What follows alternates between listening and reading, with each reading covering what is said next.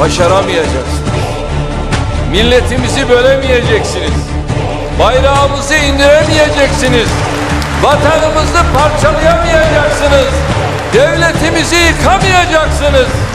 Ezan susturamayacaksınız. Bu ülkeye diz çöktüremeyeceksiniz. Bu halka kuramayacaksınız.